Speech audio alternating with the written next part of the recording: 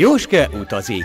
Jiddis Színház a Spinózában, a Szabad Song Klezmer Bendel. Október 30-án csütörtökön este 7 órától találkozhatnak Jóskéval a hegedűssel, Eli Melek Rabbival és a Jiddis Emáméval, Slajméval a klarinétossal, Mojséval a harmonikással, Konnal a buzukissal, Áréval a nagybőgőssel és Glünnel a dobossal. Október 30-án a Spinózában a Szabad Song Klezmer.